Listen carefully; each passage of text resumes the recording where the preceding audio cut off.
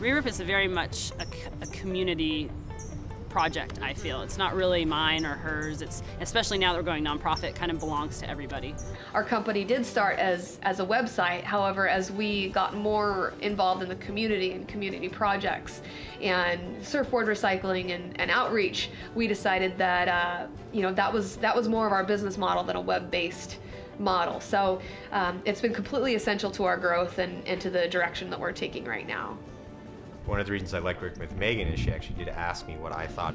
She asked me sort of my advice on a couple topics, and just the fact that she was willing to kind of keep that open mind, I think is a really good indicator, because I really think the first step is being willing to change business models and really reflect on, you know, what you're actually doing based on assessments. So right now the students are developing um, a project on sustainability and surfing and they've come up with a model that is very similar to ReRip, so collecting boards and then finding different uses for them, so the reuse model. In the surfboard cradle to grave that I did, I had an estimate of the um, carbon footprint of a common surfboard and it was something like about 450 pounds of carbon dioxide are released in the production and uh, use of a surfboard.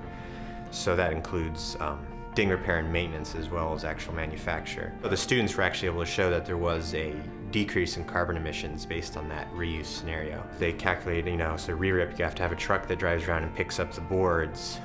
So that's producing carbon emissions, right? However, you have all these surfboards that are being reused. So instead of people having to buy new surfboards, they're having boards that are already produced. What I'm hoping is that Tobias and you know some of the leaders of the project will want to keep it going. And if we could sustain a program up here, then we have San Diego and San Francisco now involved, and that will just help it continue to grow along the coastlines. Well, one reason that I think education is so important with and, and, and and pulling in the energy and the passion and the motivation of students is then they become the agent for change when they graduate. Not only on the campus, changing the campus, but wherever they go, whether they go to industry, whether they go to nonprofits, whether they start their own companies, whether they go uh, work for the government, they can now take that knowledge and that confidence that they have and life cycle thinking approach and become change agents wherever they go.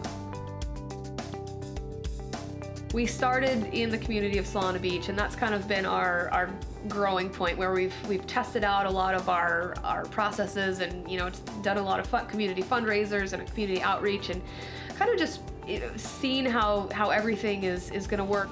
It was very good timing. Um, what happened was we started the website and then Clark Foam went out of business and Clark Foam was making probably 90% of the surfboard blanks, which is what's inside of the surfboard. And Clark Foam had just monopoly on that, frankly, up until, um, I forget what date it was. They called it Blank Monday. And he just shut down the business with no notice or anything. And um, there had been reports that there's people who had got cancer from working around the foam and um, there was a lot of pollution in the local environment there and um, no fault at all to anybody but that's just kind of the nature of the chemicals and of the foam that we all demand in our surfboards so um, after that, there was kind of this renaissance of green and surfing, and there was businesses started to make better foam, cleaner foam, cleaner resins, you know, different kinds of um, cloths, you know, hemp cloths were starting to use bamboo cloth instead of fiberglass cloth.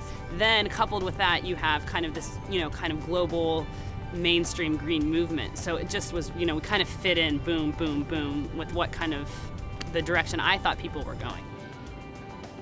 I think one of the most important things in sustainability is that is interconnectivity and community.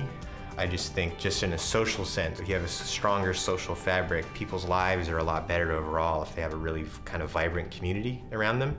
There's a lot of opportunities for cross collaboration um, where we can learn from, from what other people are doing outside the surf industry. They can learn from us and possibly in the future our materials can be used for other applications. I've found that uh, in, in trying to spread the knowledge and, and create compatibility and uh, working with people like ReRip and shapers that are interested in recycling, it's just, it's expanded the people that have learned about our product and about the process, which is the biggest part about this is educating people so they understand that a bag like this, scrap, can get turned into Look usable here's a cup material right cup. Here's some blank parts. Here's some packaging parts from a, a computer. So basically, that's the knowledge that needs to get out there: is that this stuff is recyclable and can now be turned into surfboard blanks and other products.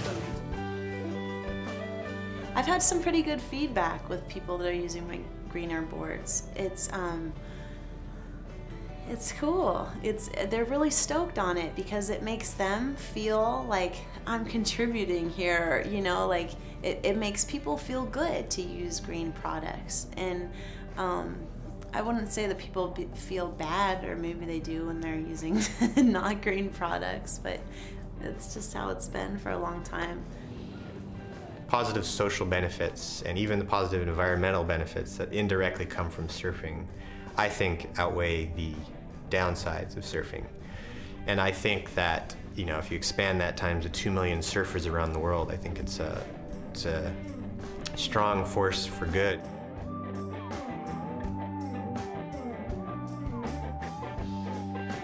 Today we're uh, we're actually you know in the process of becoming a nonprofit or uh, going to become a 501c3, and we're focusing a lot on uh, surfboard recycling, um, research and development. Uh, we'd like to obtain some grants so we can really scale what we have in regards to surfboard recycling.